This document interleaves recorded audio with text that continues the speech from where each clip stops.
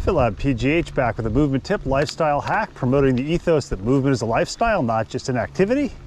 The great thing about trails is it gives you the opportunity to explore and see a variety of places that you can't get to on sidewalks or on roads. But sometimes when you're on the trails, you come across something like a down tree.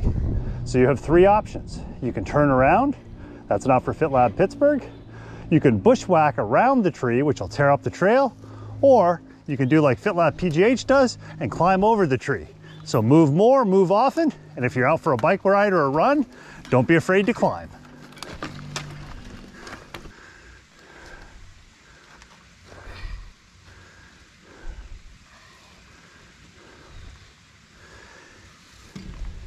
Remember, if you're out riding, leave no bike behind.